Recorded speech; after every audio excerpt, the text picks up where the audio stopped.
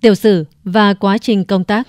Chủ tịch nước Võ Văn Thưởng sinh năm 1970, quê quán ở xã An Phước, huyện Mang Thít, tỉnh Vĩnh Long. Ông có trình độ lý luận chính trị cao cấp, trình độ chuyên môn thạc sĩ triết học. Ông là Ủy viên Bộ Chính trị khóa 12-13, Bí thư Trung ương Đảng khóa 12-13, Ủy viên Trung ương Đảng khóa 10, dự quyết 11-12-13, đại biểu Quốc hội khóa 12, 14, 15. Ông được bầu giữ chức Chủ tịch nước Cộng hòa xã hội chủ nghĩa Việt Nam vào ngày 2 tháng 3 năm 2023. Trước đó, ông giữ chức Thường trực Ban Bí thư. Từ năm 1988 tới năm 1992 là sinh viên khoa triết học Đại học Tổng hợp, phó bí thư đoàn khoa, bí thư đoàn khoa triết học, chủ nhiệm câu lạc bộ lý luận trẻ.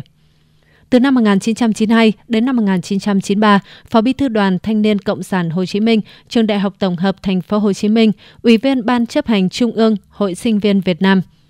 Từ năm 1993 đến năm 2004, công tác tại Thành đoàn Thành phố Hồ Chí Minh lần lượt trải qua các chức vụ: cán bộ thành đoàn, phó trưởng ban, rồi trưởng ban, ủy viên ban chấp hành, ủy viên ban thường vụ, phó bí thư, rồi bí thư thành đoàn thành phố Hồ Chí Minh, phó chủ tịch, rồi chủ tịch hội sinh viên thành phố Hồ Chí Minh, chủ tịch hội liên hiệp thanh niên thành phố Hồ Chí Minh, ủy viên ban chấp hành, ủy viên ban thường vụ Trung ương Đoàn Thanh niên Cộng sản Hồ Chí Minh, ủy viên ban chấp hành Đảng bộ thành phố Hồ Chí Minh từ tháng 10 năm 2003. Từ tháng 11 năm 2004 đến tháng 10 năm 2006 là Ủy viên Ban chấp hành Đảng bộ Thành phố Hồ Chí Minh, Bí thư Quận ủy 12. Tháng 4 năm 2006, tại Đại hội đại biểu toàn quốc lần thứ 10 của Đảng, được bầu làm Ủy viên dự quyết Ban chấp hành Trung ương Đảng. Tháng 10 năm 2006 là Bí thư Thường trực Trung ương Đoàn, Bí thư thứ nhất Trung ương Đoàn từ tháng 1 năm 2007, Chủ tịch Hội Liên hiệp Thanh niên Việt Nam, chủ nhiệm Ủy ban Quốc gia về Thanh niên Việt Nam, đại biểu Quốc hội khóa 12.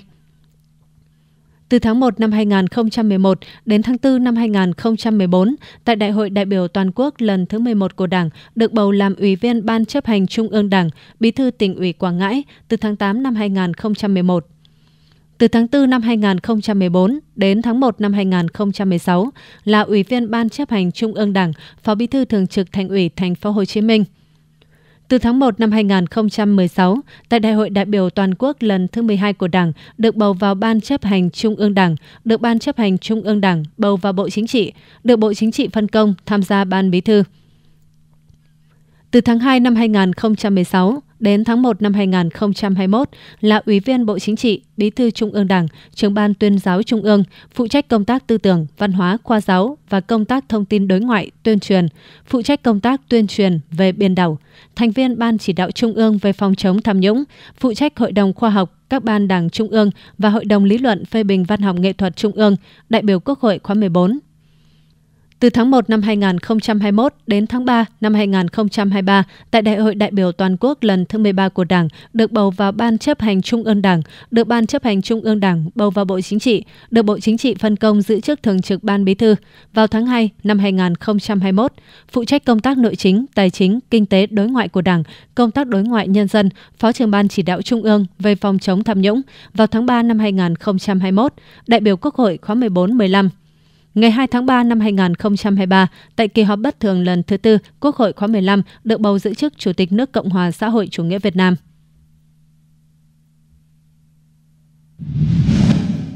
Ngày 20 tháng 3, Ban chấp hành Trung ương Đảng khóa 13 đã họp xem xét cho ý kiến về việc cho thôi giữ các chức vụ nghỉ công tác đối với ông Võ Văn Thưởng, Ủy viên Bộ Chính trị, Ủy viên Ban chấp hành Trung ương Đảng khóa 13, Chủ tịch nước, Chủ tịch Hội đồng Quốc phòng và An ninh nhiệm kỳ 2021-2026. Theo Ban chấp hành Trung ương, ông Võ Văn Thưởng là cán bộ lãnh đạo chủ chốt của Đảng và Nhà nước, được đào tạo cơ bản, trưởng thành từ cơ sở, được phân công giữ nhiều chức vụ lãnh đạo quan trọng của Đảng và Nhà nước. Tuy nhiên vừa qua, theo báo cáo của Ủy ban Kiểm tra Trung ương và các cơ quan chức năng, ông Võ Văn Thưởng đã vi phạm quy định về những điều đảng viên không được làm, quy định về trách nhiệm nêu gương của cán bộ đảng viên, trước hết là Ủy viên Bộ Chính trị, Ủy viên Ban Bí thư, Ủy viên Ban chấp hành Trung ương Đảng và chịu trách nhiệm người đứng đầu theo các quy định của Đảng và pháp luật của nhà nước. Những vi phạm khuyết điểm của ông Võ Văn Thường theo Ban chấp hành Trung ương đã gây dư luận xấu, làm ảnh hưởng đến uy tín của Đảng, Nhà nước và cá nhân ông. Nhận thức rõ trách nhiệm trước Đảng, Nhà nước và nhân dân, ông Võ Văn Thường đã có đơn xin thôi giữ các chức vụ được phân công và nghỉ công tác. Căn cứ quy định hiện hành của Đảng, Nhà nước và xem xét nguyện vọng của ông Võ Văn Thường, Ban chấp hành Trung ương Đảng đồng ý để ông Võ Văn Thường thôi giữ các chức vụ. Ủy viên Bộ Chính trị, Ủy viên Ban chấp hành Trung ương Đảng khóa 13, Chủ tịch nước, Chủ tịch Hội đồng Quốc phòng và An ninh nhiệm kỳ 2021-2026. Ban chấp hành Trung ương Đảng đã giao cho Bộ Chính trị chỉ đạo các cơ quan liên quan triển khai thực hiện các thủ tục theo quy định. Chủ tịch nước là chức danh do Quốc hội bầu trong số đại biểu Quốc hội. Do đó, quy trình miễn nhiệm Chủ tịch nước với ông Võ Văn Thưởng sẽ do Quốc hội tiến hành. Ông Võ Văn Thưởng tuyên thệ nhậm chức Chủ tịch nước tại kỳ họp bất thường lần thứ tư Quốc hội khóa 15 hồi đầu tháng 3 năm 2023. Cho đến khi được đồng ý cho thôi chức, ông Thưởng giữ cương vị Chủ tịch nước được hơn một năm. Ông sinh năm 1970, quê ở tỉnh Vĩnh Long, là cử nhân triết học, thạc sĩ khoa học xã hội và nhân văn. Ông Thường là Ủy viên dự quyết Ban chấp hành Trung ương Đảng khóa 10, Ủy viên Ban chấp hành Trung ương Đảng các khóa 11, 12, 13, Bí thư Trung ương Đảng hai khóa 12, 13, Ủy viên Bộ Chính trị khóa 12, 13. Ông Thường cũng là đại biểu Quốc hội khóa 12, 14, 15.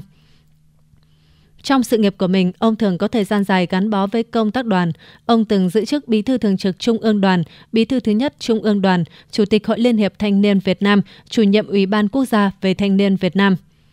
Đầu năm 2021, sau khi được bầu làm Ủy viên Trung ương khóa 11, ông thường trở thành Bí thư tỉnh ủy Quảng Ngãi. Sau đó 3 năm, ông giữ cương vị là Phó Bí thư Thường trực Thành ủy Thành phố Hồ Chí Minh. Ông thường được bầu vào Ban chấp hành Trung ương khóa 12 và được bầu vào Bộ Chính trị, rồi được Bộ Chính trị phân công tham gia Ban Bí thư. Sau đó, từ tháng 2 năm 2016 đến tháng 1 năm 2021, ông thường giữ chức trưởng ban tuyên giáo Trung ương. Từ tháng 1 năm 2021, ông được bầu vào Ban chấp hành Trung ương khóa 13 và được bầu vào Bộ Chính trị, rồi được Bộ Chính trị phân công làm thường trực Ban Bí thư vào tháng 2 năm 2021, phụ trách công tác nội chính, tài chính, kinh tế, đối ngoại của Đảng, công tác đối ngoại nhân dân, Phó trưởng Ban chỉ đạo Trung ương về phòng chống tham nhũng vào tháng 3 năm 2021. Đầu tháng 3 năm 2023, ông thường được Quốc hội khóa 15 bầu làm Chủ tịch nước tại kỳ họp bất thường lần thứ tư. Chủ tịch Võ Văn Thưởng Ngày 20 tháng 3, tại trụ sở Trung ương Đảng, Ban chấp hành Trung ương Đảng khóa 13 đã họp xem xét cho ý kiến về việc cho thôi giữ các chức vụ nghỉ công tác đối với đồng chí Võ Văn Thưởng, Ủy viên Bộ Chính trị, Ủy viên Ban chấp hành Trung ương Đảng khóa 13, Chủ tịch nước Cộng hòa xã hội chủ nghĩa Việt Nam, Chủ tịch Hội đồng Quốc phòng và An ninh, nhiệm kỳ 2021-2026. Đồng chí Võ Văn Thưởng là cán bộ lãnh đạo chủ chốt của Đảng và Nhà nước, được đào tạo cơ bản, trưởng thành từ cơ sở, được phân công giữ nhiều chức vụ lãnh đạo quan trọng của Đảng và Nhà nước. Tuy nhiên, vừa qua, theo báo cáo của Ủy ban Kiểm tra Trung ương và các cơ quan chức năng, đồng chí đã vi phạm quy định về những điều đảng viên không được làm. Quy định về trách nhiệm nêu gương của cán bộ đảng viên, trước hết là Ủy viên Bộ Chính trị, Ủy viên Ban Bí thư, Ủy viên Ban chấp hành Trung ương Đảng và chịu trách nhiệm người đứng đầu theo các quy định của Đảng và pháp luật của nhà nước. Những vi phạm khuyết điểm của đồng chí Võ Văn Thưởng đã gây dư luận xấu, làm ảnh hưởng đến uy tín của Đảng, Nhà nước và cá nhân đồng chí. Nhận thức rõ trách nhiệm trước Đảng, Nhà nước và nhân dân, đồng chí đã có đơn xin thôi giữ các chức vụ được phân công và nghỉ công tác. Căn cứ quy định hiện hành của Đảng, Nhà nước và xem xét nguyện vọng của đồng chí Võ Văn Thưởng, Ban chấp hành Trung ương Đảng đồng ý để đồng chí Võ Văn Thưởng thôi giữ các chức vụ Ủy viên Bộ Chính trị, Ủy viên Ban chấp hành Trung ương Đảng khóa 13, Chủ tịch nước Cộng hòa xã hội chủ nghĩa Việt Nam, Chủ tịch Hội đồng Quốc phòng và An ninh, nhiệm kỳ 2021-2026. Chủ tịch nước Võ Văn Thưởng sinh năm 1970, quê quán tại xã An Phước, huyện Mang Thít, tỉnh Vĩnh Long. Ông có trình độ lý luận chính trị cao cấp, trình độ chuyên môn, thạc sĩ triết học, Đồng chí Võ Văn Thưởng là cán bộ lãnh đạo chủ chốt của Đảng và Nhà nước, được đào tạo cơ bản, trưởng thành từ cơ sở, được phân công giữ nhiều chức vụ lãnh đạo quan trọng của Đảng và Nhà nước. Tuy nhiên vừa qua, theo báo cáo của Ủy ban Kiểm tra Trung ương và các cơ quan chức năng, đồng chí đã vi phạm quy định về những điều đảng viên không được làm, quy định về trách nhiệm nêu gương của cán bộ đảng viên, trước hết là Ủy viên Bộ Chính trị, Ủy viên Ban Bí thư, Ủy viên Ban chấp hành Trung ương Đảng và chịu trách nhiệm người đứng đầu theo các quy định của Đảng và pháp luật của nhà nước. Những vi phạm khuyết điểm của đồng chí Võ Văn Thưởng đã gây dư luận xấu, làm ảnh hưởng đến uy tín của Đảng, Nhà nước và cá nhân đồng chí. Nhận thức rõ trách nhiệm trước Đảng, Nhà nước và nhân dân, đồng chí đã có đơn xin thôi giữ các chức vụ được phân công và nghỉ công tác. Căn cứ quy định hiện hành của Đảng, Nhà nước và xem xét nguyện vọng của đồng chí Võ Văn Thưởng, Ban chấp hành Trung ương Đảng đồng ý để đồng chí Võ Văn Thưởng thôi giữ các chức vụ Ủy viên Bộ Chính trị, Ủy viên Ban chấp hành Trung ương Đảng khóa 13, Chủ tịch nước Cộng hòa xã hội chủ nghĩa Việt Nam – Chủ tịch Hội đồng Quốc phòng và An ninh, nhiệm kỳ 2021-2026.